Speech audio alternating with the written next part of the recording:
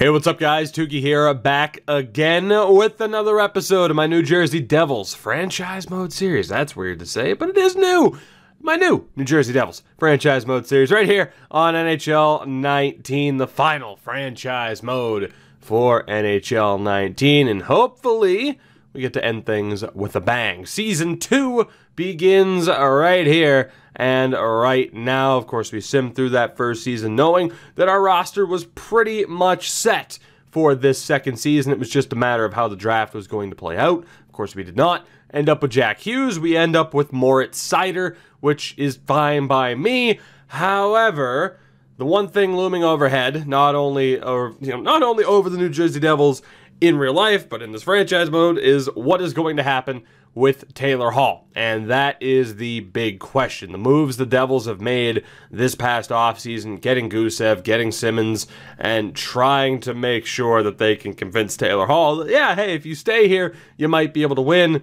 We're affected by that as well because he is not currently under contract, of course, beyond this year.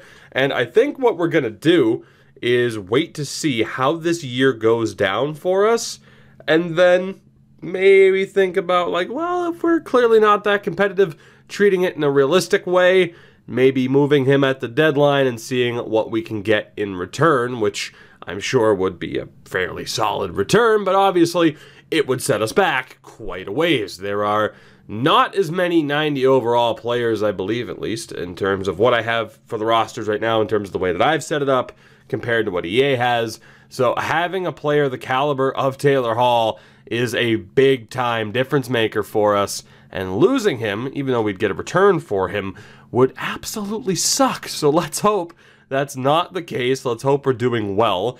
In theory, we should because we nearly made the playoffs last year and probably would have had it not been due to injuries to certain players down the stretch, mainly Cory Schneider between the pipes. So we'll see how we do this season, and good God, that's a perfect start, isn't it?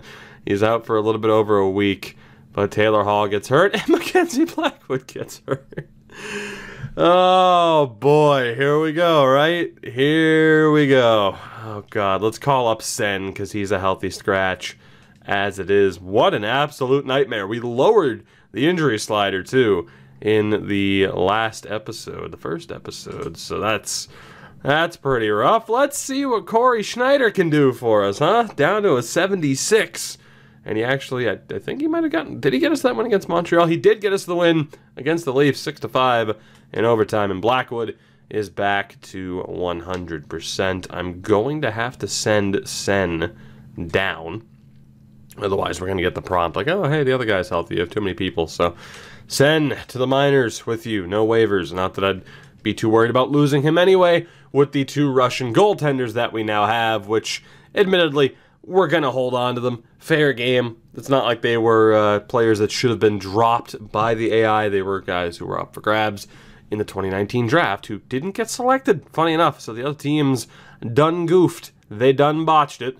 And we'll take advantage of that as Taylor Hall is back, thank God, because that means Brett Seney was on the top line, but he did have three assists in four games. Not that bad of a healthy scratch option. Hall, though, had five points in three games. I'm excited to see what that top line can do in general, but especially Nikita Gusev, or not Nikita, well, eh, Nikita Gusev too. The top line in general, I'm excited to see what they can do. Nico Hischier, I think, is the interesting part because obviously the Hughes Hischier combination would be amazing. My God, the injuries. The Hughes Hischier combination would have been amazing. Wow, the Florida Panthers suck. And unfortunately, we, we don't get to see just how good they're going to be. Um, but at the very least, Nico Hischier's turned into a half decent option. I'm going to go best lines for now, and we'll figure it out once this team's at 100% health for the first time this season. Four wins through 12 games. Not exactly ideal in terms of being on a playoff pace. You could blame the injuries if you wanted to. But all in all, I still think it's a case of us underperforming thus far. Couple of losses in a row. We snap that streak against the Arizona Coyotes and then botch a game against Minnesota, losing a shootout. At this point, though, every pity point is going to count as we nearly, nearly had more wins than regulation losses, and that went away. It went away. So 9 9 and 3. We'll take a look at some things here as of December 1st, mainly the playoff picture because I've been looking at the records for other teams and we might not be that far out of it, but if Will Butcher wants to be hurt for a week, that is going to be fairly detrimental. And in you know, and I did forget to mention something at the top of this, I do suppose. In theory, the Taylor Hall contract is the biggest thing we have to worry about. We do have, and I'm actually be intrigued to see if certain players were signed. It's the one thing I didn't check early on. Uh, we'll have to check. I think again it was Point and Rantanen who were still there. We have a couple of contracts to worry about, and indeed all the RFAs would have been off the board. Let's see if they would have signed recently, and if not, we'll double check their teams to see if they signed. But we do have some other other teams that we have to worry about, or other players that we have to worry about on the team, and teams we have to worry about too, because San Jose has won 10 games in a row. Signing wise, nothing, so it makes me wonder if Rantanen and Brayden Point, of course, the Mitch Marner debacle, me completely forgetting about him resigning last episode, was embarrassing enough. But for the Avs, no, Rantanen's still on the block. Mikko Rantanen's going to sit out the entire year. Here's the thing even if we didn't have Girard's deal starting a year early, they wouldn't have really had the money to sign. I mean, I mean, maybe they would have, but he was already higher rated than Marner was. Marner accepted the eight. Would 10 million have been enough to get Rantanen under contract? I don't know. I really don't think it was just the Girard contract that screwed them over, but uh, it certainly didn't help. And we were also going to check the Tampa Bay Lightning and Brayden Point, who was also sitting out the entire year. A little bit less surprising that the Lightning did not have the money to pull that off. Even with the Vasilevskiy contract having to start a year early, it, one of them, they would have been in trouble regardless, and that's not all that surprising.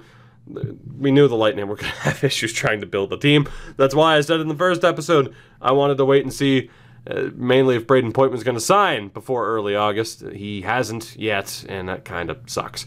But to take a look at the players on expiring deals, well, we have to sign Nico Hischier. We have to sign Bratt. We have to sign Vatanen. Simmonds, probably not. But it's it's a little bit rough. And then goaltending wise as well, Mackenzie Blackwood is going to have to be re signed. He's not going to be that expensive. In terms of re signing Sami Vatanen, I, I think it's necessary. I was taking a look at the pending free agents. We're not really going to have that many options, I, I got to admit here.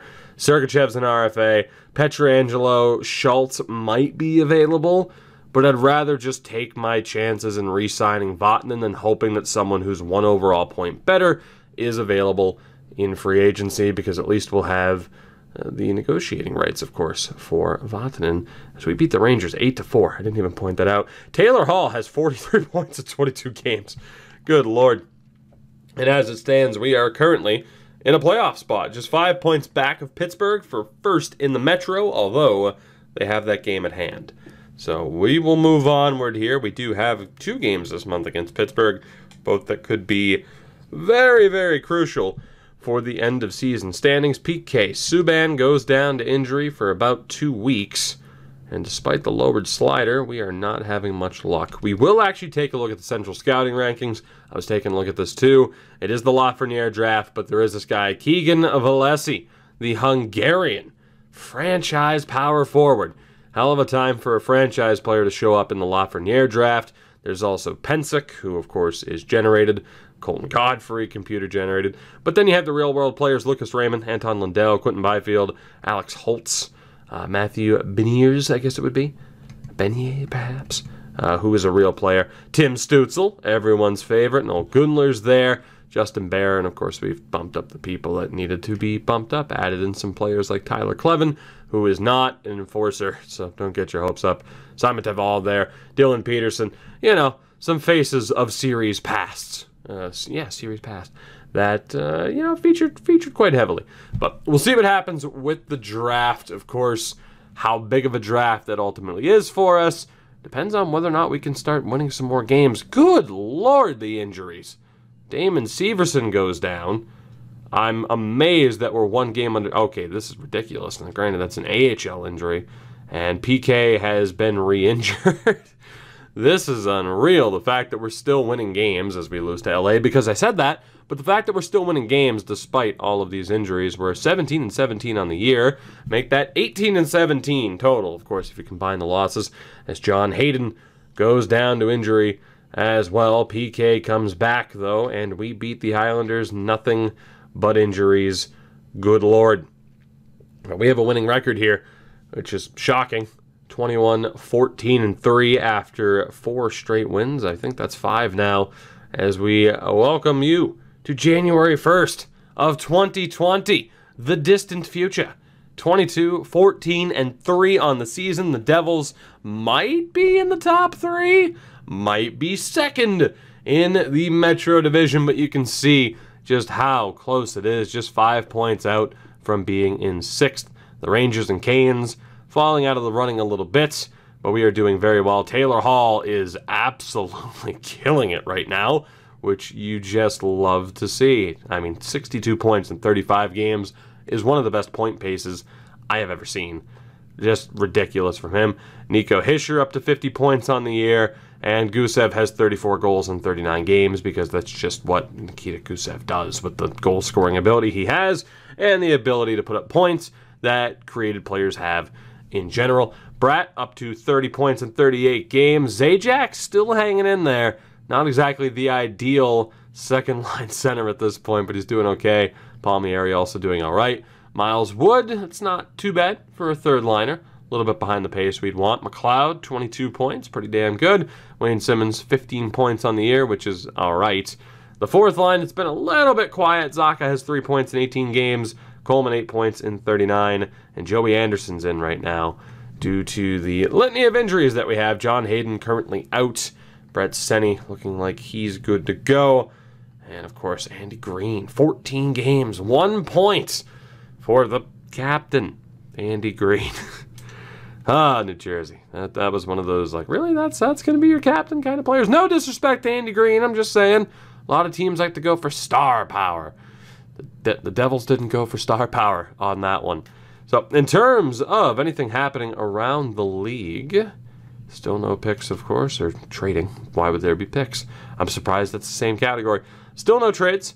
We will move on to the early stages of February, and we'll take a look yet again at whether or not any moves have gone down, where we are in the standings, and what the situation is with Taylor Hall. I mean, I think as long as we have a winning record and the player says, "Yeah, I want to I want to come back." I think we'll go for him. If not, we'll explore potentially trading him, which would be a nightmare about time the player, you know, in game says, "No, I don't really want to come back," despite the fact that I'm on a 100 point pace, the team's winning, but it wouldn't be the first time that that's happened, right? So we'll see how it goes down. Back to back losses for the first time in a while. We bounce back with an 8 3 victory over the Islanders and John Hayden.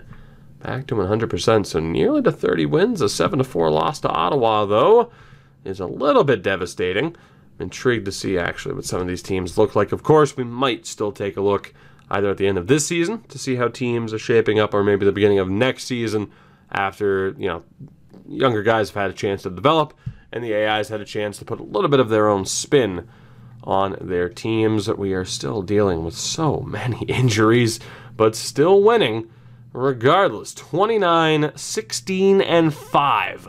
As of February 1st, we are currently just two points behind Pittsburgh. If we win, we will be even in points. I think in terms of ROW, they would still be ahead, but very much in a playoff spot. I mean, five points ahead of the Flyers. It's still close, but we are right in the mix with where we want to be. Nikita Gusev, 77 points through 50 games, 45 goals for him. He is going to break 60. There is no denying that at this point. And we'll take a look at whether or not anything's happened. And indeed, we have a trade. Antoine Morand and a fifth going to Ottawa for a second, a third, and Mark Borowiecki.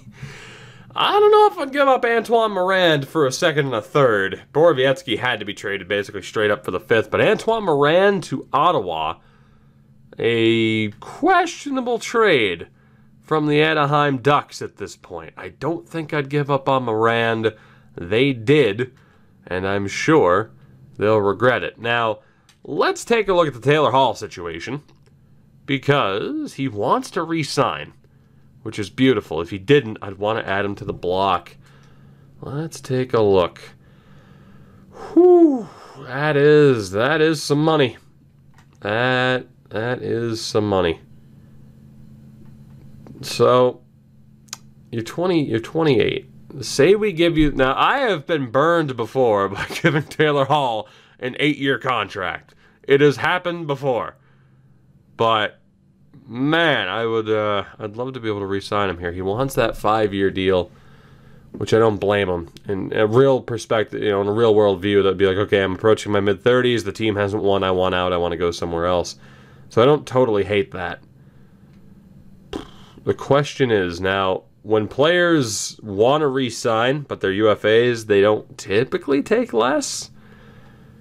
But if he'd take, oh God, 11-5, and then what does Nico want? Nico wants seven. Right. And the more years added, the more money he wants. Of course.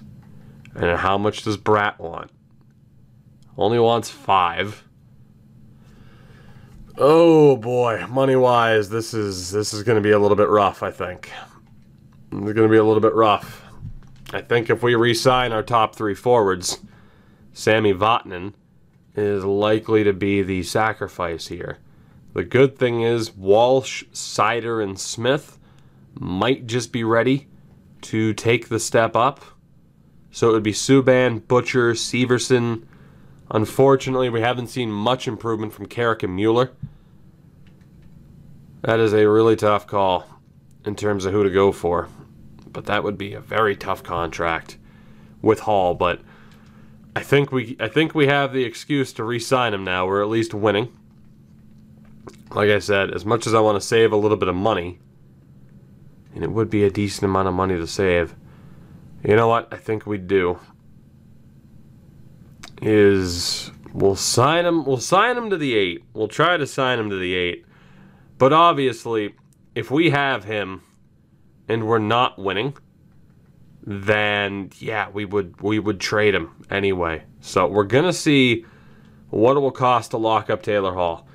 Nico Hischier, I still want to go for the full eight, just for obvious reasons. I get that he only wants the six. Maybe we could say, hey, meet us in the middle. We'll go with seven, which, you know what, eh, that might be what I'll do. Again, we have no strict rules in terms of re signing or anything like that, but maybe we'll meet him in the middle with the seven, and we'll see if 6.5 over 7 works, which would be a steal of a deal.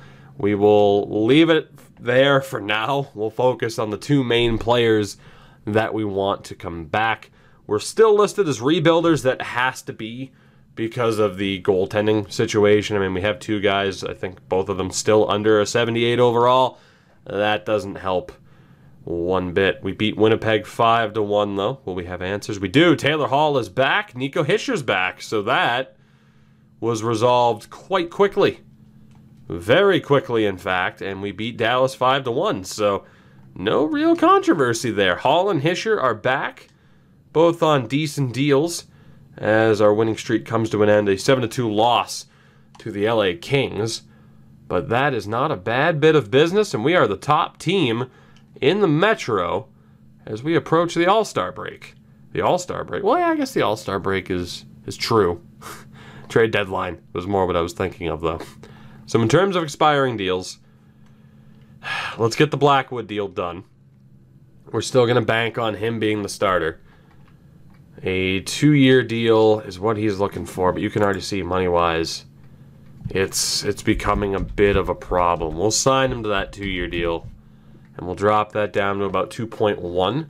Hopefully he accepts that. There is a chance that we're going to have to either just accept the fact that Sami Vatanen's leaving for nothing, or we move him at the deadline. One or the other. Not sure which one it's going to be. Depends on just how good of a situation we're in. Blackwood signed before we even got to that game against Carolina, although we will end up simming it. Back to back losses for the first time in a while. sees us down into second, but we do have two games at hand on Pittsburgh. So it's going to be a battle, a race to the finish here for the top spot in the Metro. So the good thing is, goaltending wise, we're settled. How much money do we have heading into next year? 8.5. I think we have to commit and just accept that Sami Vatanen's leaving at the end of this season. Otherwise, it would be try to move on from Bratt, but he's he's a key player for us, man. He's a key player for us. Quietly turned into one hell of a pickup for the Devils, and he's continued to turn into a, a very solid player. Yeah, we can't we can't get a cheap deal out of this. He wants a five-year deal, which I'm okay with. We can drop that down to just a little bit a little bit under four six, so we'll go a little bit over. See if he accepts that. Wayne Simmonds is definitely gone. A lot of these other guys, it's going to be close. Really close to see who stays and who goes. I think the key thing here is can we move Cory Schneider? Which would be great. Is there a team far off of the playoffs that could use a goaltender, but more importantly, assets? I mean, obviously, you know, Colorado, uh, there's no trading a goaltender to them. They need to get Mikko Rantanen back. Detroit, they have Howard, who they're looking to move. It would be ideal. How much longer? Oh, God, they just re signed Bernier. Okay, I have an idea. Say we uh, we bring in Jimmy Howard as a rental, who's been terrible, just terrible. Maybe not, because auto reorder would start him over Blackwood. There has to be a team here where it makes sense to try and deal them a certain Schneider. Edmonton, they do love themselves some rough goalie contracts. Mike Smith's been a little bit better. In terms of cap space, though, they are hurting. They are hurting in a big time way to the point where they can't even afford it. They're that bad, but they can't even afford it. Montreal's struggling. Nashville has been awful. Wow. 20 wins on the year for the Preds. And unfortunately, no real answer for us here in terms of who to go after.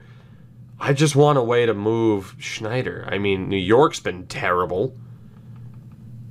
Georgiev up to an 80. Shesterkin's a 79. Georgiev's extension that he has signed is about to kick in. So there's no real answer there. There might not be a good answer for a team that we can work out a deal with here. Unless we look at Ottawa. Unless we look at Ottawa. Now, they do have Hogberg. But say we take Daccord just as a, a drop, right? Because they have all the cap space in the world. We give you Cory Schneider, which is a rough sell. But do we have prospects to add that can really make this worth it? We have the goaltenders. Now, in terms of goaltenders, do the Sens need young goaltending? I mean, they have Gustavsson, and that's it. So we could sweeten the deal a little bit. I'm thinking of giving up both Russians here. I gotta be honest. Who else do we have that we could give up to get them to take Cory Schneider? I mean, White's there, but I don't know about that one. Walsh is available. Moritz Seider and Smith, of course. And then forward wise, what name would make sense? To try and sweeten the deal. Boqvist would be a really tough sell. Good old Fagemo, as I've learned. The the Fagem the, the, the Fagemo. That's what it was, Fagemo. We'll call him our prized cow. Fagemo. No, we won't. oh god, do we really have, aside from the goaltending, and like Walsh. Do we really have anybody? I need to get rid of the Schneider contract desperately. We have to sweeten the deal. I don't know if it would take a Moritz Seider to do it in a real life uh, viewpoint. But also, Ottawa's kind of dumb. And that's my one, like, hey, it's not overly realistic or overly unrealistic. Ottawa's dumb. Because they are. Say we give up Kochetkov. All right? We give up Kochetkov. They get a goalie prospect. We'll give up a defensive prospect as well. We'll give up, uh, God. I don't know if I want to give up Moritz Seider. That's that's pretty rough. but Walsh is looking pretty damn good, and I don't really want to give him up. But say we uh, say we really sweeten this for Ottawa, will this work out for us? And then forward wise, I don't really know if there's anybody to kind of add here. Anderson, Nathan Bastian, Gignac. Let's uh, and we'll add this dude who's not under contract. I don't know if this is gonna work, but it would be nice if it did. I'm sure I'll have to retain salary, but for the this is basically the for the love of God, take Cory Schneider. We'll give you a goalie prospect, uh, a prospect in each position. Just take Cory Schneider. You have the cap space. Now, unfortunately, they're also at 50 contracts, but the good thing is it's one it's one for one. So, if that goes through, I'm cool with it. I fully expect to have to retain salary. Yes, I yes I do. The whole retaining salary option really doesn't help because that's the point. We're trying to clear as much salary as we can. Hopefully, teams in 20 are a little bit smarter on this front. I half salary on Schneider is better than is better than nothing. We'll keep going up in small increments. Come on, Ottawa. You know you want to take this deal. I am keeping Riley Walsh now. the further the price goes up in terms of retention, I will take Riley Walsh off the list. We'll go up to 35. How about that? Instead of five, oh god, instead of increments of five, 50% of the Schneider deal. But you get a goalie prospect and a forward prospect, and we'll just take back Joel Daccord and see if that works. I hate you. Really? Come on, Ottawa. You're not that smart. You know you're not. What about a third round pick too? Please? All right. I think I think we're probably gonna have to accept that Sami Vatanen's leaving because this this contract is an albatross that refuses to uh, it's just gonna weigh it's just gonna weigh us down. It refuses to be moved. So with Vatanen, I mean we have 8.5. We could re-sign him, and then the Bratt deal, of course, going through. We'll see what happens first and foremost. We'll see if Bratt accepts. Hopefully he does. And we'll take it from there. But not being able to move that Schneider contract really sucks. Actually, you know what we'll do? We'll set up the trade block. And we'll see if by some miracle we are able to get this to go through. So we'll set it up in that way, which basically says, hey, Cory Schneider and draft picks, please, for the love of God, somebody take our Cory Schneider and our draft picks. That would be great.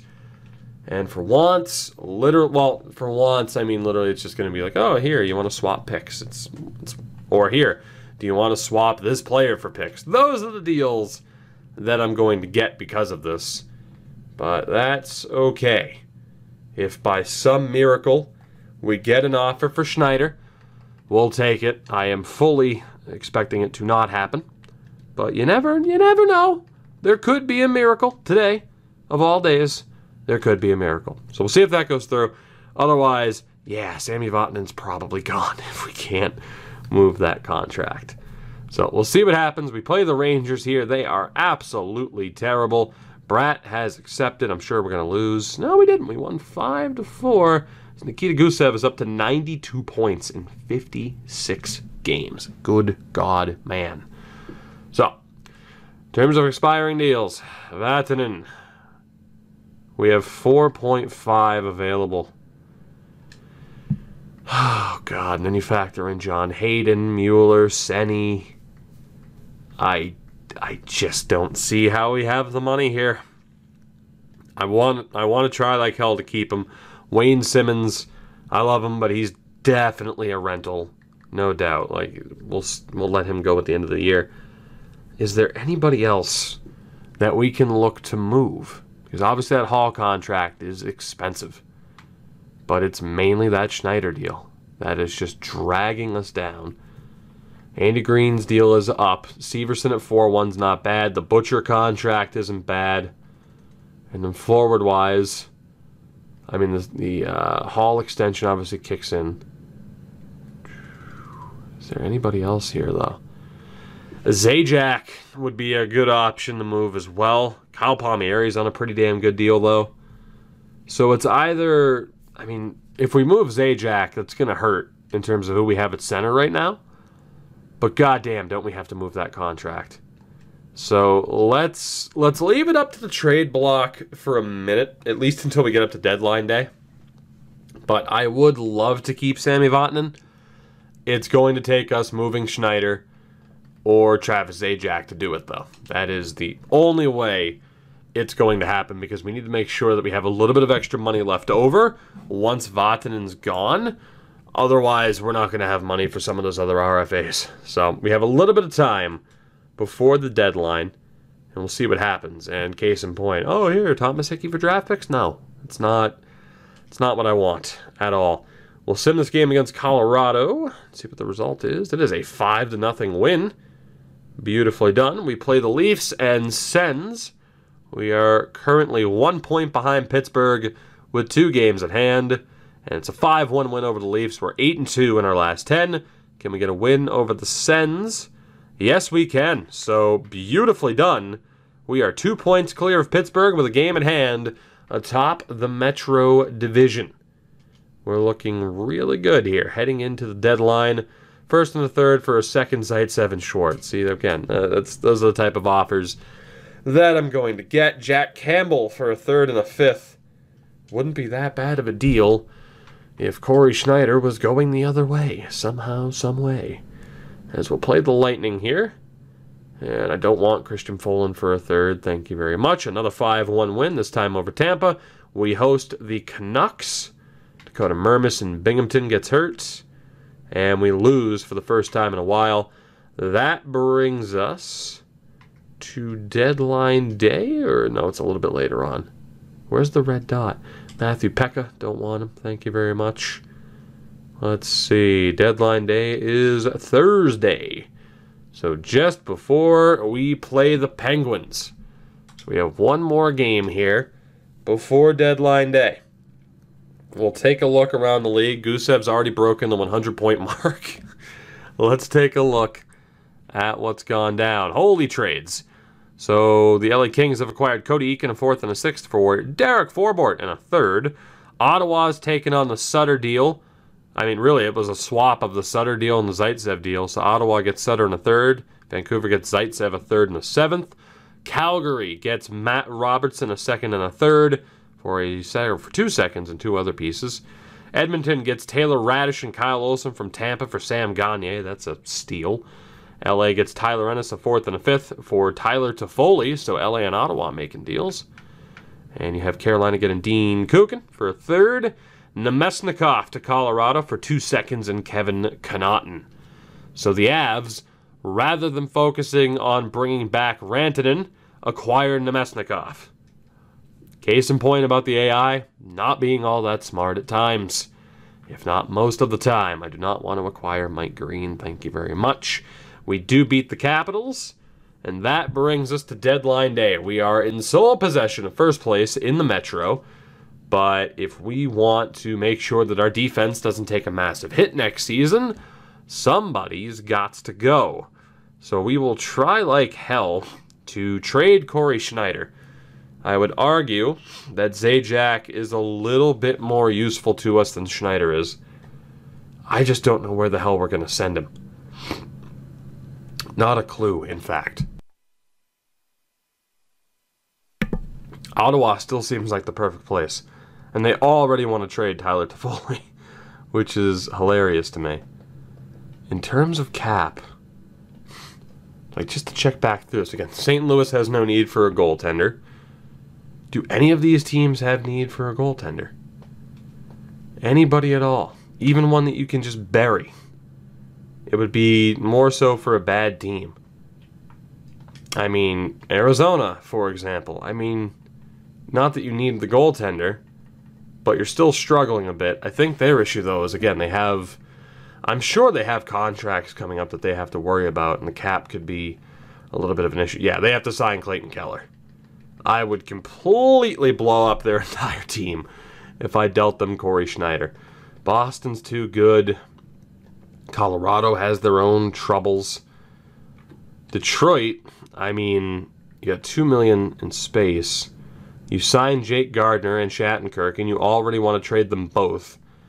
You need to sign Tyler Bertuzzi and Anthony Mantha at the end of this year, so you have just completely screwed up your team. You have completely screwed up your team. I'm going to let you wallow in that misery. Edmonton's battling for a playoff spot. Nashville. Again, I don't really think the issue for Nashville is like, oh yeah, hey, we need we need prospects. I mean, they're trying to win now. It's just not happening.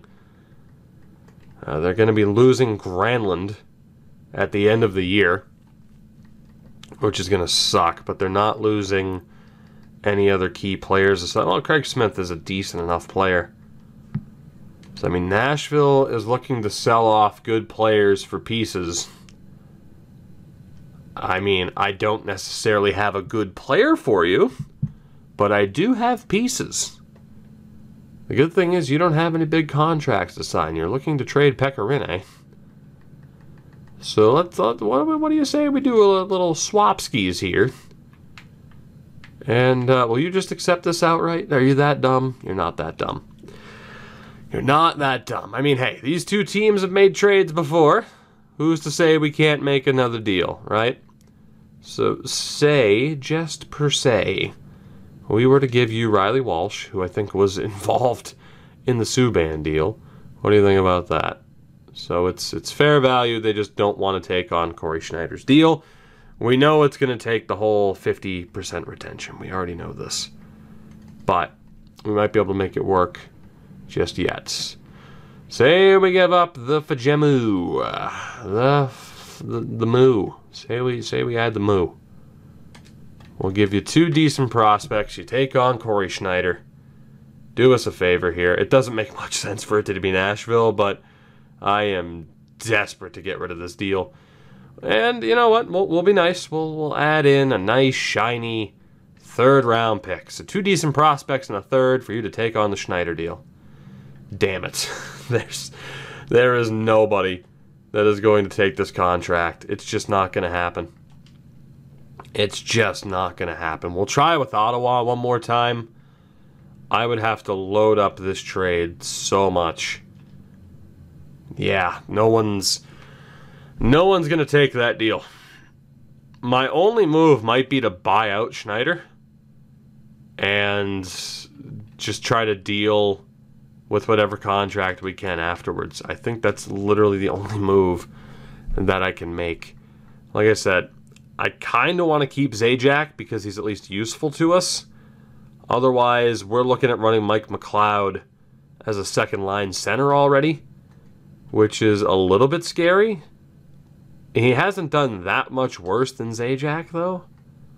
The problem is, I don't even know if we could get someone to take the Travis Zajac contract, but those two deals in particular are just absolute killers for us right now in terms of keeping Vatanen. But we'll see what we can do. Hopefully this works. I mean, obviously, Ottawa's not really going to have interest. I feel bad for Zajac, but yeah, I think it's going to take a Cory Schneider buyout. I don't think anyone's going to take him. I really don't think anyone's going to take Zajac. I think we're kind of stuck.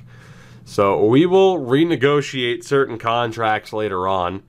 In terms of cap space that we have right now, uh, we do have about five million bucks to work with. So let's take a look at the roster, see if anyone's underperforming, and we might be able to make a move here, which would be fairly surprising. Goaltending wise, Blackwood's the guy. Even though he's not getting it done necessarily this season, he's the guy. We're sticking with him.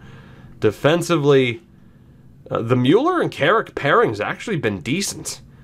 That would be the one spot I'd be looking to be like, yeah, we could bring in a rental. They haven't been bad though. So why give up assets to get somebody who's better on paper when those two have actually done well? And defensively or forward wise, I mean, sure, another top six addition would be nice. Miles Woods slightly underperformed. A little bit of extra help for the top six could work. Again, Zajac hasn't been bad. Honestly, I think. I don't know if this team can win in the playoffs, but it is the type of team that might be able to win in the playoffs, which is how the sim works. Is it worth giving up assets to get somebody slightly better? I mean, that top line should be able to carry us. I think, you know I think we're just going to stick with it because I'm a little bit afraid to get rid of assets just in case we lose guys like Vatanen. So we're going to move on. We're going to leave this team as is. We lose to Pittsburgh, which sucks. It's a big point swing, but we're going to stick with it. In terms of trades, that Eakin Forbort deal was the last trade involved, so a pretty quiet deadline day. Very quiet, actually. There were literally no deals done. We will sim to the end of the season, barring a brutal collapse. There will be a postseason appearance from the Devils in season two. It's just a matter of now what you know what this team looks like heading into next year, particularly on the defensive side of things, and whether or not there is an impending buyout of Travis Zajac and or Cory Schneider, and how certain guys develop. I mean, maybe ooh, four straight losses. Maybe had we given up someone like Moritz Seider, we might have been able to move one of those two contracts at the deadline. Obviously, with Zajac, we didn't really try that hard, as we have lost five games, make that six games in a row. I said barring a collapse. Well, guess what? There is a decent end of season collapse. We have bounced back with two wins, but this is going to be a pretty rocky road to the finish here. We play Anaheim with Matthew Tkachuk. I wonder if he's the one who injured Damon Severson. we end up getting a win there, though. Uh, Mueller goes down to injury too, so not the right time for an injury bug. Although we have won four in a row, we end up losing in overtime to the Sens. Five games left this year. A loss to St. Louis, a win against Detroit. That brings us to April 1st. We are on 46 wins. Impressively enough, but that is only good enough for second place in the division. Uh, we have clinched a playoff spot, though, so indeed there will be a postseason appearance. Nikita Gusev, 122 points, nearly 70 goals. But whether or not we're going to have home ice in the first round, whether or not we've won a division, comes down to these final few games. So we'll sim this game against Buffalo. We desperately need a win, and we get one that keeps us in second place in the division. But we are two points back of the Penguins with an even amount of games played hopefully, hopefully, hopefully, the Hurricanes lose their next game, the game in hand that they have, before we play another playoff team, the Philadelphia Flyers. The Hurricanes did not lose that game. Pittsburgh managed to win, so we have to win out here to make sure we stay above the Canes. Can we beat the Flyers? Another another playoff team, a fellow playoff team. We lose that game. We are still above the Canes for now but we desperately need a win here against Tampa to make sure we have home ice in the first round. We lose that as well. So we need the Hurricanes to lose their final game of the season, otherwise they will have home ice advantage in our first round matchup. We know we're playing the Canes in the playoffs, and the Hurricanes jumped us. So we finish in third in the Metro on 100 points, but we will not have home ice advantage. We lose out at the end of the season. Gusev did hit 70 goals, which is insane. And obviously, we'll take a look at stats across the board here in a second. I just want to make sure that everyone's on 82 games, and they are. So the final standings are in. Let's take a look around the league. We finished with 47 wins, as I said, but only third in the Metro. We'll be taking on the Hurricanes in our first postseason appearance. Philadelphia and Washington also made it. Columbus just missed out and New York and the Rangers also, well, the Islanders and the Rangers, both New York teams in the Metro, fell short, well, well short. In the Atlantic, it's Toronto, Boston, and Buffalo that make it. Tampa misses for the second year in a row. Who would have predicted that? Ottawa, Florida, Detroit, and Montreal all miss out by a decent margin. In the Central, Winnipeg wins it again. Chicago, Minnesota, St. Louis, and Dallas all make the playoffs. Brutal seasons for Colorado and Nashville. And in the Pacific, San Jose, Edmonton, and Vancouver make it. So Anaheim, Calgary, Arizona, LA, and Vegas. Another brutal season for the Golden Knights. They all miss out. So the Leafs and Bruins were tied for the top record in the league, or at least point totals, but the Leafs take it on tiebreaker, the ROW tiebreaker. Nashville, the only team in the league under 70 points. Absolutely brutal. In terms of offense, most goals for New Jersey. So we have the best offense in the league. Toronto up there, San Jose, Winnipeg, and Buffalo. Weakest offenses in Nashville, Vegas, Montreal, Anaheim, and Vancouver. The bottom five were the only five teams to finish with less than three goals for per game. The top defenses slash goaltending, at least in terms of goals against per game, Chicago, Minnesota, Carolina, Dallas, and Philadelphia. So we're up against a really good defensive team. The most goals allowed Calgary, New York, Florida, New York, and Ottawa. So there you go. Quick look around the league. We will look at point totals before wrapping this episode up. It is playoff time in New Jersey already, and obviously, Gusev and Hall absolutely killed it. Gusev hit 70 points or 70 goals, 125 points, 116 for Hall, and 96 points, 71 assists for Nico Hischier. Palmieri had a good season. Bratt had a good season. Mike McLeod had a pretty good season, hit 20 goals and 51 points. Only 46 points for Zajac. Despite that cap hit, more useful to us, I'd think, than getting rid of him. Coleman on 33 points, Simmonds on 33, Wood on 32, and some of the depth options were a little bit lacking just a little bit, but it wasn't that bad. Defensively, great season for PK, good seasons for Butcher, Severson, and Vatanen. 18 points for Carrick. Now, the argument for Vatanen is, well, is it really worth paying, you know, four to five million bucks for a 27 point defenseman at 28 years old? That's a decent argument, too, despite the fact that on paper we take a decent hit if we were to lose him. Goaltending wise, Mackenzie Blackwood with a 910. It's not too bad. We're still going to trust him to continue to develop. Schneider was at least not horrific when he played. So we will take a look around the league. I guess uh, we'll start up with forwards, of course. And drumroll, please. Gusev led the league in points. Hall was in second. From there, Guentzel, Matthews, Malkin, the only five players to break 100 points. You had Scheifele, Marner, Tavares, Wheeler up there as well, Skinner and Eichel, Pastrnak up there as well. Marcus Johansson had a great season in Buffalo with 74 assists. McDavid, Getzlaf, Marchand, Tkachuk 90 points for his first season in Anaheim. Even Ilya Kovalchuk had a decent season. Goals for, I mean, just again, creative players can be so broken. But John Tavares, 59 goals, 54 for Skinner, 52 for Ovechkin and McDavid, the only other player to hit 50. Malkin, Matthews were close at 49 and 48. In terms of assists, it's Marner, Hall, Guentzel, Johansson, and Hischier. They all hit at least 71. And of course, for points, you would have already seen it. So, not too bad in terms of power play points as well. 46 points on the power play for Jake Guentzel. That is ridiculous. Top face-off man, Sasha Barkov. Although in terms of, you know, face-off percentage and everything, we don't get to see. Zibanejad loves to hit, though. We know that at least. Defensively, let's take a look. Brent Burns hit 94 points as a defenseman. That is the most I've seen. 24 of those points on the power play. Crazy. Letang was 75. Gostisbehere, Jones, Barrie OEL. Some of the some of the names you'd expect to see up there doing quite well. Brannstrom did incredible. Jesus Christ, he's up to a 90 already. Development in this game can be weird. Erik Brannstrom is the real deal for Ottawa. We know that at least. The goals, we know it's going to be Burns, and it was. The assists, also Burns, which is not surprising. Goaltending wise, the winningest goaltender was Tuukka Rask, although Murray has a better win percentage. The shutout king was actually Markstrom with eight. In terms of save percentage, Robin Lehner may have just won himself a Vezina. I mean, I can't imagine he wouldn't have. He appeared in 73 games. Pretty sure that's a Vezina. Not a single goalie over a 930, by the way.